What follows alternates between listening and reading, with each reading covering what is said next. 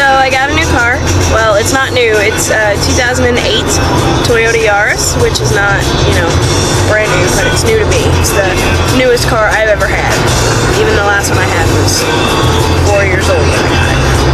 But anyway, just wanted to show it off. Um, of course, I can't show you the outside right now, but I've got pictures of that. Um, it's really cool. It's really small and, you know, kind of compact. It's got a lot of room for being so small. Biggest adjustment is that right here is where I'm used to seeing my odometer. And I should turn this down. Okay. Um, right here is where you usually see the odometer and stuff, but it's actually in the middle, right there.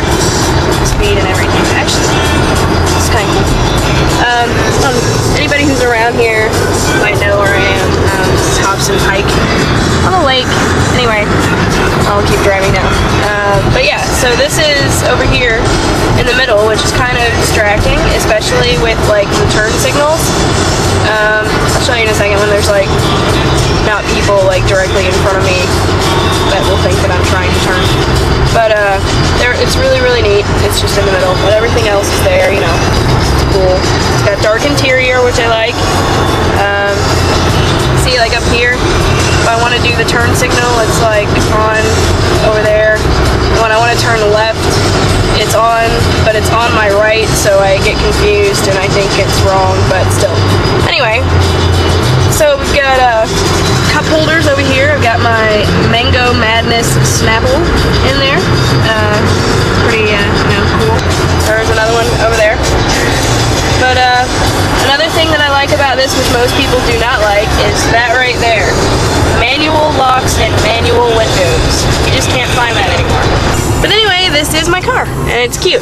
And, you know, you'll see pictures of it. You see my uh, temporary tags back there, you know, in the back window. You know, I don't have real plates yet, just got temps, but, you know, it's kind of cool. Got a roomy backseat. I'm gonna demonstrate this now with this little guy right here. It's gonna be kind of hard to do this and do this at the same time, but anyway, it's gonna work. Um, so this is how you do it. You go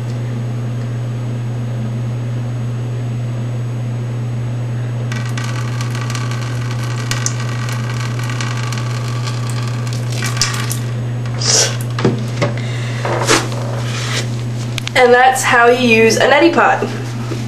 Except then you gotta wipe the water all off your nose and stuff like that. But you wanna make sure that you get it all out. Which I'm gonna do right now, but not on here. Okay, so that's how you use a neti pot. Um, hope, you know, everyone was sufficiently grossed out, but don't knock it till you tried it. Um, this morning I felt horrible, just absolutely just ridiculous. And today I went at lunch and I got this, and then I did it at work, and then I did it just now, um, and totally feel a lot better. I mean, I'm not up to par yet to be playing with babies, but we'll see. That's how you do.